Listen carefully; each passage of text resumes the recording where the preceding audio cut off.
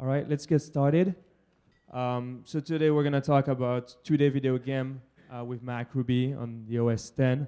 Uh, but before we get started, I have a few questions for you, just so I can uh, know you better. So I'd like to know who does Ruby for a living. Okay, so who does not do Ruby for a living? All right. So what do you what do you do? Python for a living. Good. Um, who does Ruby but not Rails for a living? Oh, so we have a few people. Very cool. Um, who does Ruby after work or just for fun? Okay, most people. That's pretty good. Uh, who owns a Mac? Okay, who doesn't own a Mac? Okay, so we have a few people. That's cool. Uh, who knows Cocoa already and uses it from time to time? All right, not too many. That's actually pretty good because when I started this project, I didn't know much about Cocoa, so it's pretty good. All right, before we start, I want to test your memory. I want to see what you know about video games. So I'm going to show you some video games, and I want to hear the name of the game, and then we're going to move on really quickly. So this one. Pong, everybody knows it. This one. Asteroid. This one. This one. Maniac Mansion, very good.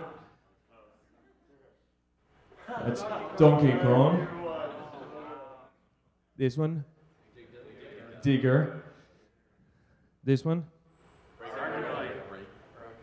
Well, different names. Were a lot of clones, so that's all right.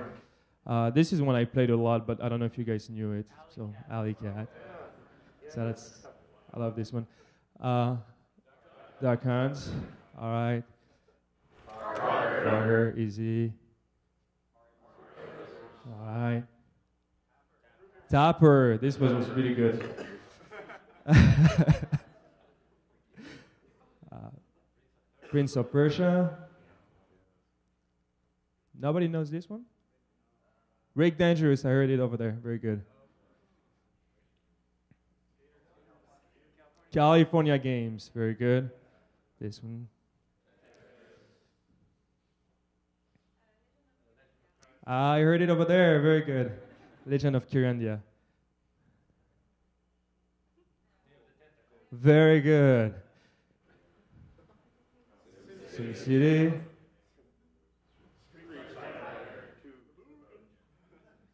F Zero. Double Dragon. All right, so everybody knows these video games. I think we all spend a lot of time playing video games. Video games are fun, especially all these. Uh, I think we all spend a lot of time playing video games. But we also spend a lot of time uh, writing Ruby, and Ruby is also a lot of fun. And as we saw, most of you guys have a Mac, and the few who did not, well, they might want to uh, consider getting one pretty soon.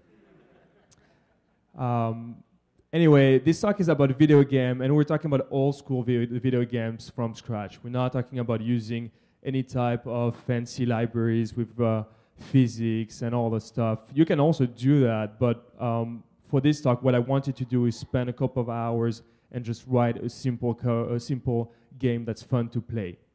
So the truth about this talk is that your game, at the end of the day, probably won't be legendary. Um, it won't be a super game that everybody's gonna play, and it won't make you really rich like Mr. Burns.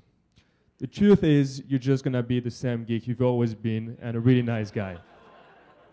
But uh, hopefully uh, it's going to feed your curiosity. You're going to learn a lot of cool stuff, and you're going to provide hours of fun for other people. So let's quickly look at the very popular games, what, what people are playing nowadays. Um, a lot of people play MMORPGs, so uh, we're talking about games like um, uh, Second Life, uh, World of Warcraft, uh, EVE Online, a lot of really cool games. But the problem is that it takes too much time to actually code something like that for fun. Uh, you need a team of people working on that. Uh, then you have another type of games, which are the first-person shooters, um, games like uh, Half-Life, Halo 3, Far Cry. Uh, these are cool games. You can actually do them pretty easily if you want something very simple. Uh, a good example would be Rubystein, that, were, that was written by the, um, the Phusion guys. Uh, they used a, a, library called Gosu, and uh, it, it's, it's cool, but what I wanted to do was actually do something even simpler than that. So I looked at different type of games, new stuff that uh, uh, appeared in the last few years. We saw a lot of uh, Wii games, and that's pretty cool because you just interact with the hardware. And now with MacRuby, we can actually do that very easily because you just you, you just reuse the device uh, you have on your console or whatever you use and just connect it to the computer. So you have all this cool game we could write. Um, and you also have a lot of online games. Uh, I know my wife plays a lot uh, this kind of game she has on Facebook and you know on different stuff, and we have them also on the iPhone and a lot of very tiny games where you find the fun you used to have uh, when you were a kid. You also have the iPhone games. I'm sure uh, a lot of you guys played this game. Um, do you guys know the name of this game? Flight Control. I we spend way too much time playing this game. Um, other games like Tap Tap, and basically these are very simple games. And what's important is just the idea behind the game. Uh, the way you do the game is not very simple. I, if you look at, at Flight Control, it's actually a very very simple game, but it's an awesome game. Anyways, uh, what I did was actually I wrote a code. I wrote a small example, and I want to show you the game before we actually look at how to write the code. So I'm actually going to demo the game. Uh. Turn on the mirroring. So I'm opening Xcode. I wrote it in Xcode, but um, you don't actually have to. It's just easier. So I'm just going to build the game uh, live for you. Um, so it's, it's a very simple game. Um, you can switch full screen so it will scale up and down. Um, and for that, I just used some vectors. All the design was done by uh, Stephanie. Stephanie, can you, can you just stand up? So Stephanie actually helped me. So I, I, just wanted to write this demo for, the, the, demo was just written for this talk, and Stephanie was really nice. She did a lot of design stuff. She even did the music. I think we're gonna hear the music. So anyway, I'm gonna put it full screen and play the game. Uh, the concept of the game is very simple you, you have to grab the rubies to go to the next level. And you need to avoid the bombs. So I made it really easy for the demo because I'm not that good. Up. So as you can see, we're switching levels and you can pause the game. Um, so, so, and then when you die, I actually give myself a lot of lives. So. There you go. You have a game over. So the, the game is is very simple. Um, if you look actually at the CPU performance, it's really good. Uh, right now, we're actually using only 3% of my CPU. Um, and when you play, uh, it doesn't go much higher. We're like in the 10, 15%. So it's, it's very optimized. Um, the screen, yeah, I actually messed up. I see with, with the resolution of the, the video projector. But anyway, that's, that's the game. It's very simple, and I will show you how uh, it was written. So let me just go back to the presentation. All right. All right. So it was written with MacRuby. Uh, MacRuby is not Ruby for Scottish people. It was actually written by a Belgian guy. Um, so now I have to say, Laurent, can you just stand up so people can actually see you? Laurent is over there. It doesn't quite look like that, but I, I never saw him in his postures. Anyway. um, it was written also by a, a lot of other people uh, working for this guy, uh, the man. Uh, that's Apple. And so Apple is actually um, leading the project. MacRuby is an open source project and it's basically a Ruby implementation on top of the Objective-C runtime and garbage collector. Um, the, major, the, the, major advantage for us today this morning is that now you don't have a bridge, you can actually access Cocoa directly. And Cocoa is um, a suite of frameworks or libraries that you have to write any type of applications. And for this video game, I actually kind of hacked Cocoa because in Cocoa, when you want to write video games, you're probably going to use OpenGL and some really low-level uh, C APIs. But in this case, what I did is I used core animation, which is meant for um, desktop application when you do simple animation, when you have like the scroll bar moving or the the menu bar moving up and down. And I basically use that to create the game. So um, the way it works is with Snow Leopard, they actually uh, built a core animation on top of OpenGL, and they use uh, GCD, which is uh, the Grand Central Dispatcher. So the way it works is they handle all the threads for you, and you have a pool of threads, and the, the system handles all of that. So I did a lot of tests, and it turns out that it was fast enough for a simple game like mine, and it's much, much easier because we end up doing something like Flash, where you have layers, and on the layers, you just move the layers with the objects. So it's actually much, much easier than having to, to deal with the sprites and all the stuff. So anyway, let's talk about how you write a video game. Uh, a video game uh, is a bit different than an application. What we have is we have a user, in this case Patrick, and Patrick is going to use his keyboard, he's going to press the buttons, and he's going to send a key event, and the key event is going to get stored in memory. Um, I will explain later on why we do that. Um, so it goes into the memory, which is the game data that I would say the user pressed the button. And then we have um, a game loop. So a game loop is something that's going to run in our case 30 times a second, and we'll do a lot of things. The first thing is it will go and find all the layers that were created previously that are available on um, the game, and we'll tell them to update. And a layer is basically just a core animation layer. It's a very simple layer that doesn't know much about anything apart from its position. So it knows its size and its position. And the layer has a game item.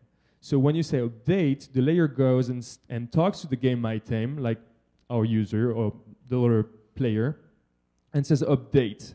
And the player knows about its own position, and it will go and check with the game data if, for instance, uh, in the case of the player, if the user pressed right, uh, the, the game item needs to change its coordinates to move to the right or to the left.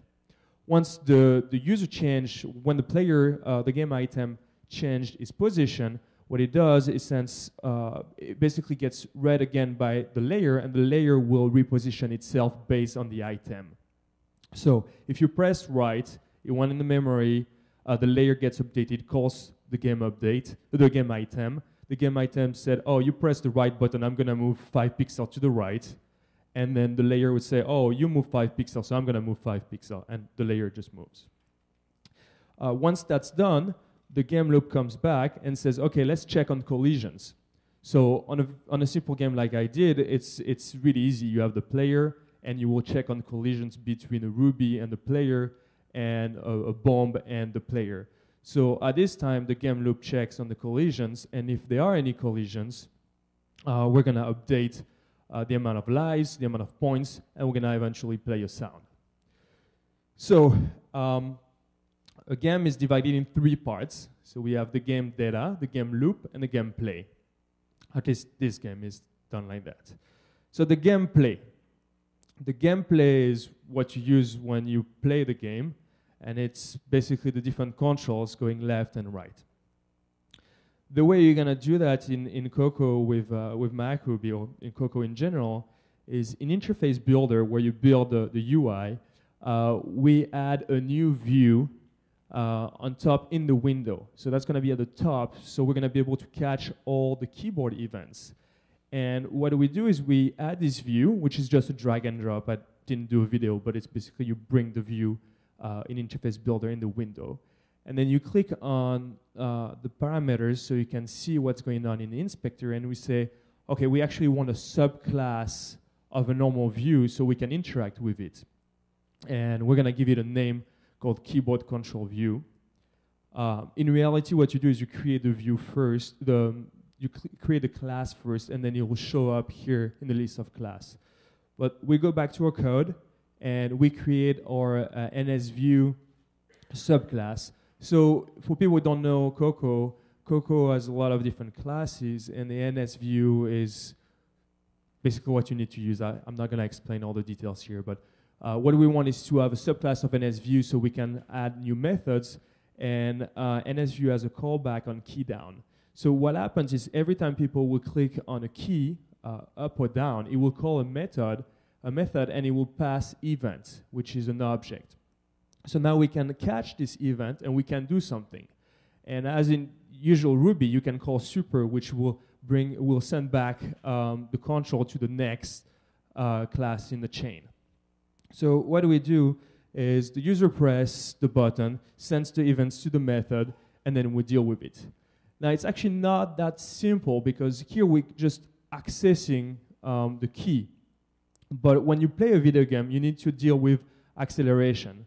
So for instance, if I was a player and you press the button, the game loop comes and it will move me once to the right and then once to the right. So if you leave the button pressed, I'm just gonna go move and like that.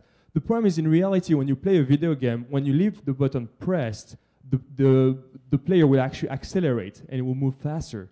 So you want to actually deal with that. And what we do is uh, we take care of that in the, the game item, um, you, the game item class. When you press the button and the button was, the button was already pressed, instead of moving the user for like five pixels, we're going to accelerate the movement and push it a bit further. So you need to think. So uh, basically, you don't want to end up with issues like that, where you didn't scale scale up properly. So when we change resolution, if you have a small window and you just go up, you need to make sure that when before you were saying the player needs to move five pixels to the right, you need to multiply multiply this dimension by uh, the new screen resolution. So you need to think about the ratio of the screen and all of that. So that's what I did in the cut. It's actually not really hard. You just need to do a bit of math and you're good. But that's, that's basically the gameplay for you. Uh, and then you can bind other uh, keys. For instance, I have pose and X and the space bar and different things that work. So the gameplay is pretty easy. Um, most of the code is actually written in a game loop. Um, so the game loop, if you remember, it's what's running in the background uh, 30 times a second. So the usual workflow that we're used to uh, when, uh, oops, sorry. Uh, the usual workflow when we uh, write uh, web applications or desktop application is that you have an action, you jump on the ball, and you have a reaction. That's, that's the usual thing we're used to. So the user click on the button, we do something. Now in the video game, it's slightly different we, we basically don't, the user doesn't need to interact with you. It will just, you have a lot of stuff moving on all, to, around you, and the game needs to be able to run without the user being involved. So everything needs to run smoothly, regardless of the user's input or lack thereof. The cat actually goes for a while, so I'm just gonna jump. All right. So um, the game loop, 30 times per second, the game loop does something, and this is what it does. It will move the player, which is the, the main object. Uh, then it will move the other objects around, and then it will check and resolve all the collisions. It will, it will update all the score and the levels, redraw the graphics, and then play a sound if needed. So that's the job of the, the game loop. And a game loop uh, in Cocoa, you could you can do it different ways. This is the way I did it, which is pretty simple. And uh, this is basically my game loop or how the game loop gets triggered. Um, all right, so let me explain the code a little bit. So we create, we have an instance of a Cocoa class called NSTimer. So it's just a timer. And then we pass this long method uh, that's, that basically says we're going to run on a time interval. And every time we reach this time interval, we're going to do something. And the time interval here is 0.03. And then the target is who we're going to call once this interval is, is up. And then we call a selector. So a, a selector in Cocoa is basically a method you call. Uh, the only thing you need to be careful with when you write uh, Cocoa uh, with MacRuby is you need to uh, put the colon at the end so we know it's really a method to call. And uh, then we pass all the stuff that we actually don't care about. Um, so this is just a hash, by the way. Um, don't don't be scared. It's just a Ruby 1.9 hash. You could do it the, the Ruby 1.8 hash. Uh, but the way it works is in MacRuby, uh, when you want to call a selector in Cocoa, which is a method uh, that takes certain named arguments, uh, you just pass a hash and it would work. And here I just use the Ruby 1.9 syntax because it looks just much better on screen. So uh, as you can see, the selector refresh screen is the method we're going to call on the target, which is here on the bottom. And uh, this method takes an argument. Um, you could also wrap this uh, class into something like that. That's much cleaner. Uh, and interval timer would be the class you would write that would just do exactly the same thing and just pass uh, through. Uh, the thing is, you only use the timer once, so I didn't think it was very uh, useful to do it. And here is the entire game loop, uh, which is, you know, quite a lot of code, but it's actually not that hard. So we're going to go through it. what we do is we ask the game data data all the layers. So these are all the core animation layers. Uh, they are just simple layers that know their positions. And then we go through each of them and we say update. Uh, if you remember what I said at the beginning, when the layer updates, what it does, it calls the item itself, and the item goes and uh, move is x and y, and then based on that, the layer will uh, move.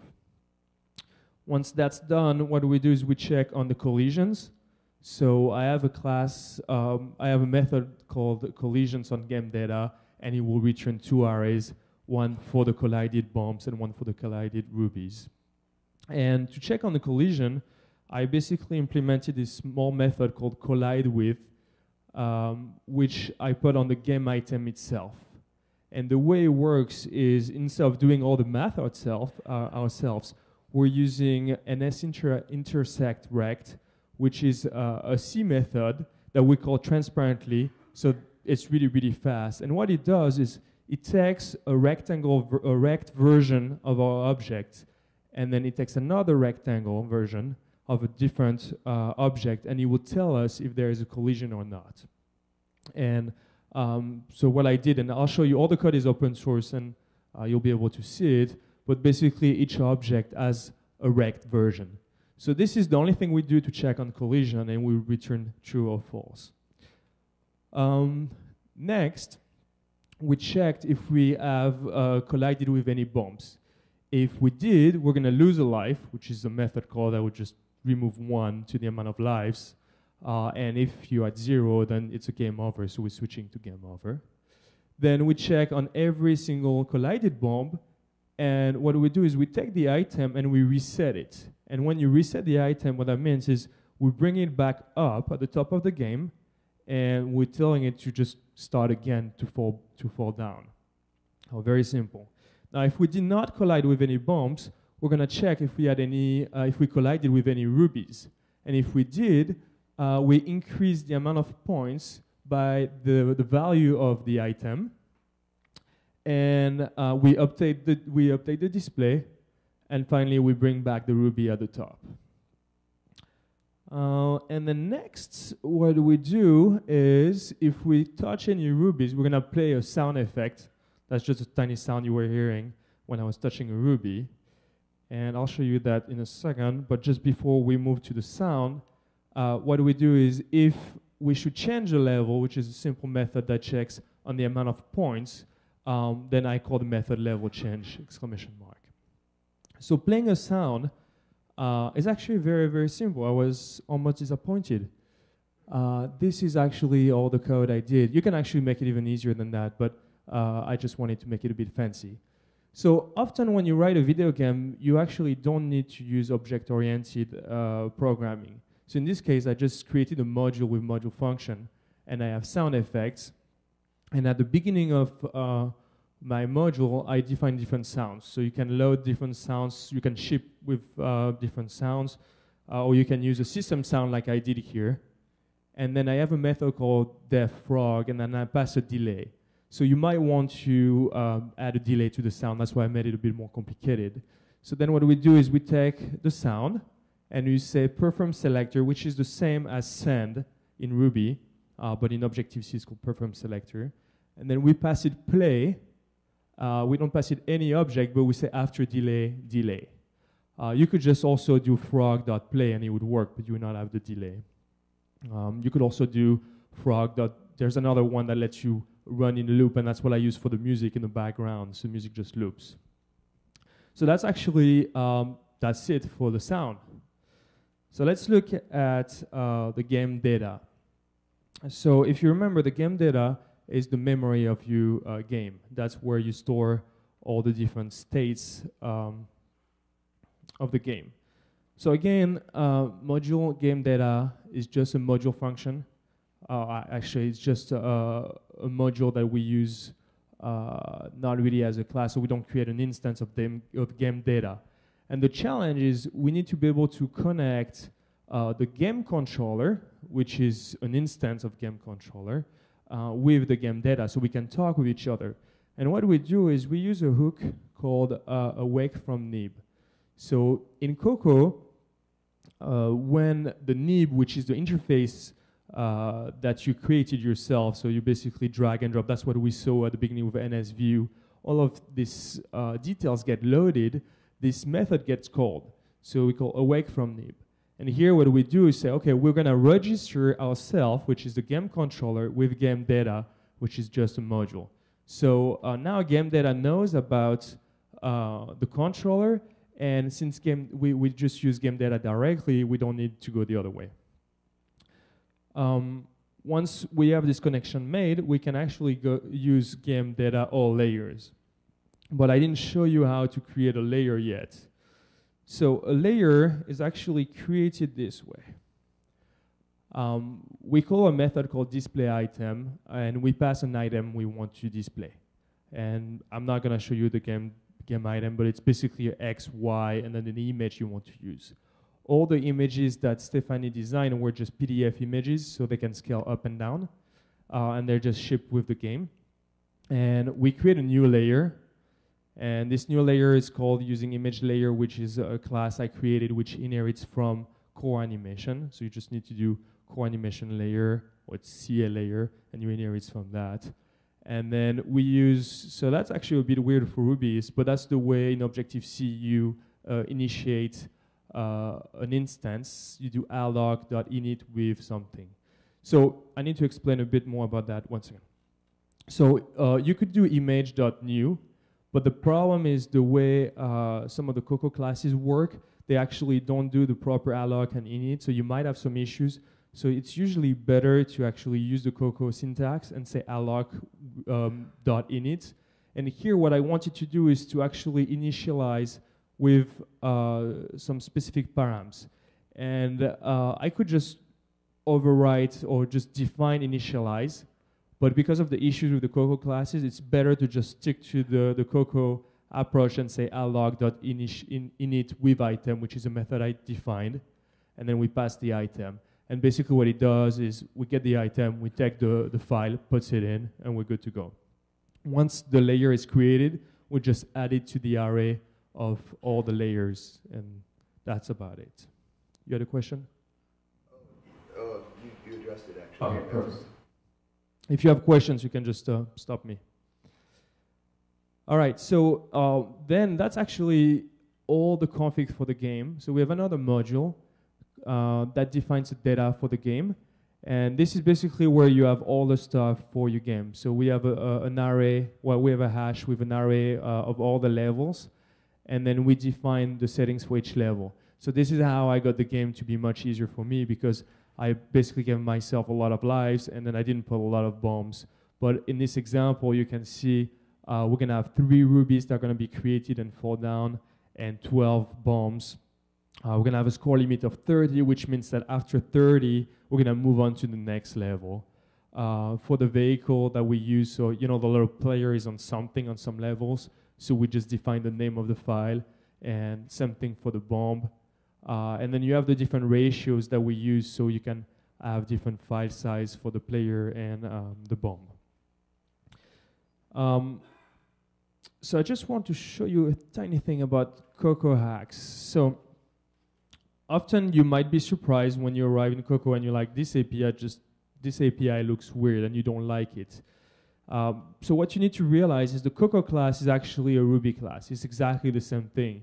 So you can do what you would do to uh, a Ruby class. So if you don't like an API, what you can do is you can just wrap it.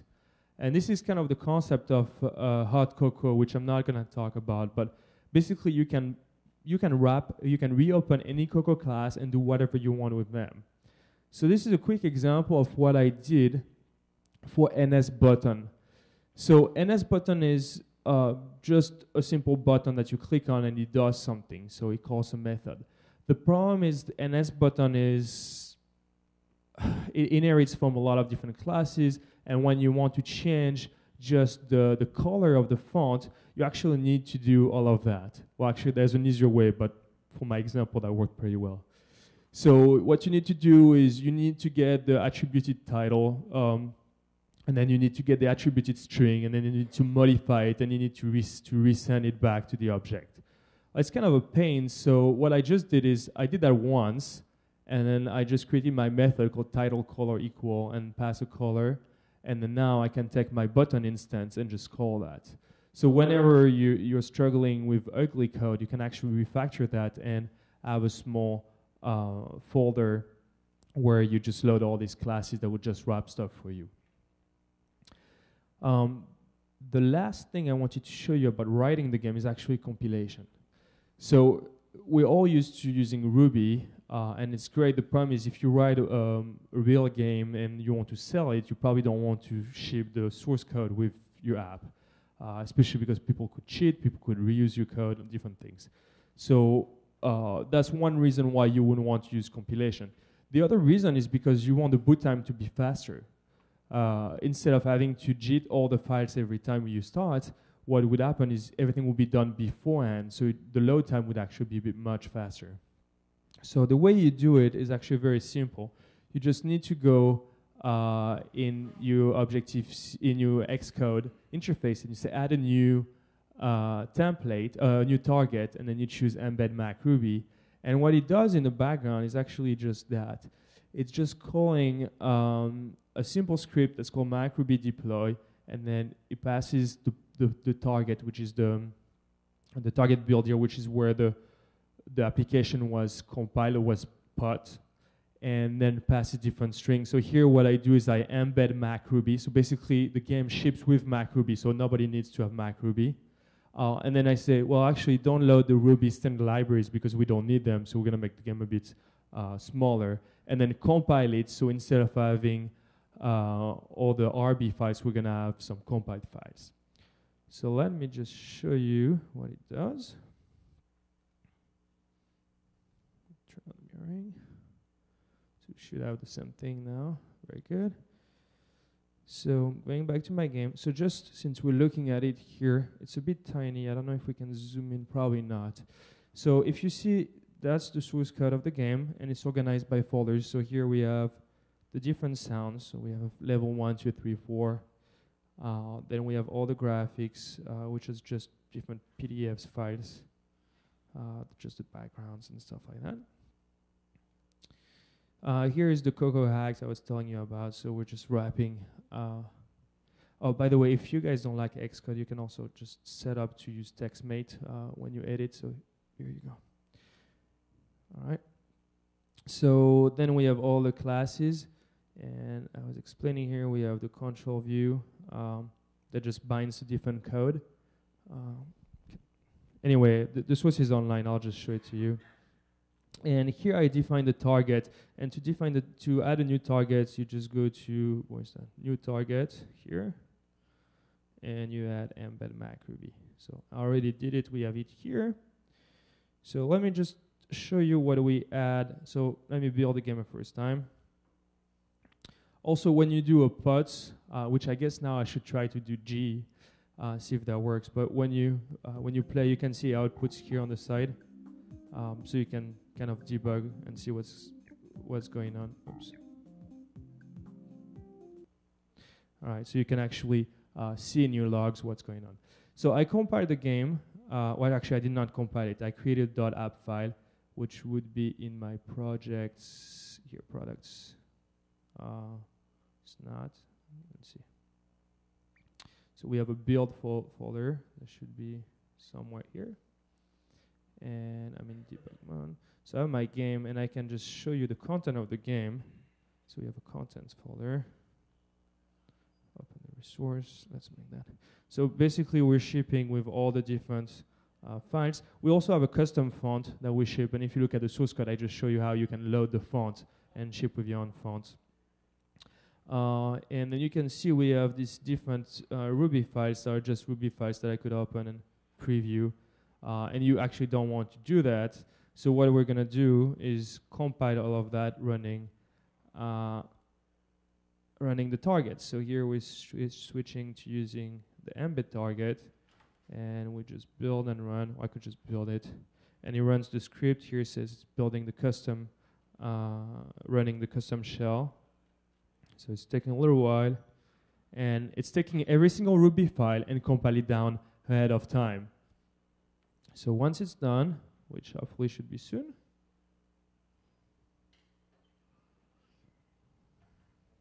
Yep. All right, there you go. Uh, it's not totally done, but you can see all the RB files were replaced by RBO files. So they're all compiled files, and you just cannot see what's going on in the game, uh, which is cool, especially for the settings. So I only have two minutes. So what I wanted to show you, oh, there you go, the game finished. What I wanted to do is just show you how uh, you add a new level. So to add a new level, here I prepared some, some graphics that Stephanie did for me. Uh, I'm gonna go into my graphics here. I'm just gonna drag and drop uh, all this stuff here up. And I'm not gonna copy it, just put it here. And then I'm, oh, this one I forgot. And then I'm just adding the sound. All right, now what I do is I just need to go to uh, my game config and I will just add a new, uh, just a new hash for this level, which I actually did somewhere here. There you go. So I'm just gonna copy it. Oh. Ah, stupid Xcode.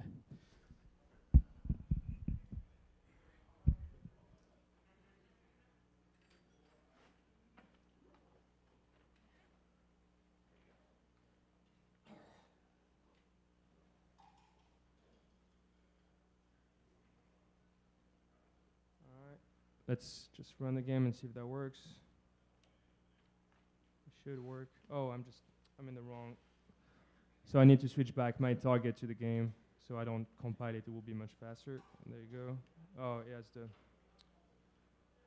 So when you compile it, actually the RBOs files don't get deleted. So I'm just going to delete them myself so they don't get reloaded. Also, here is the framework, so it ships with MacRuby directly. All right. Uh, deleting that. Alright, and we compile the game, linking, there you go. Play full screen.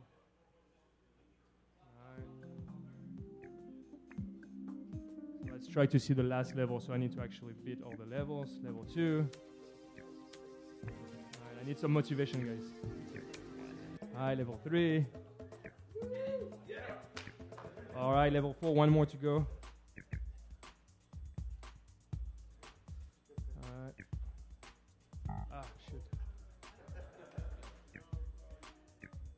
Actually, don't remember the limit we put on the level. Shoot.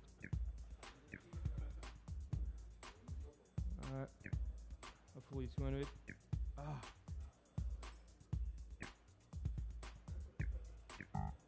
All right. I think I'm gonna cheat. I'm gonna game over. I guess it is two or I really suck. One of the two. All right, let me just cheat quickly.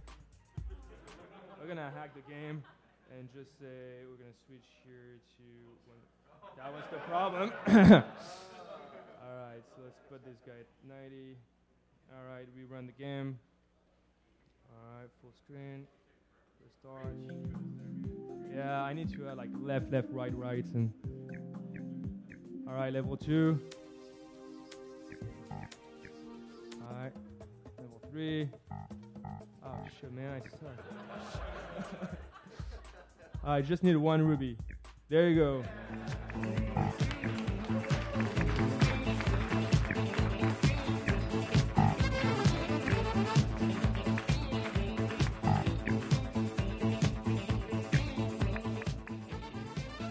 All right, so I could play for hours, so we probably should stop now.